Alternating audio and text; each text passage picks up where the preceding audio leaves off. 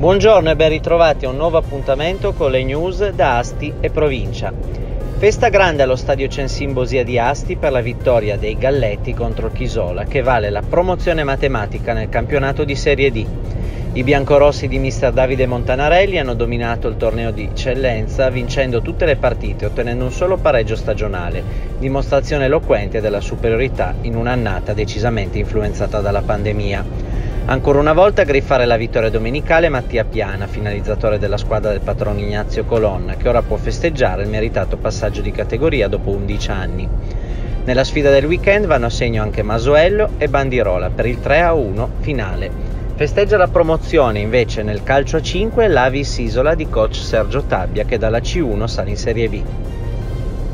Forti boati nella tarda serata di sabato ad Asti, nella zona del villaggio San Fedele. Alle 23.30 circa, ignoti hanno fatto deflagrare due ordigni rudimentali, verosimilmente bombe carta, collocati all'ingresso di una villetta unifamiliare che si trova in via Ticino. Al momento dell'esplosione in casa non era presente nessuno.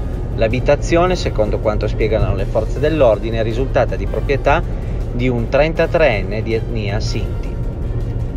È stata ritrovata intorno alle 20 di sabato la signora di 66 anni che si era allontanata nella mattinata intorno alle 12.15 da una casa di cura di Costigliole d'Asti.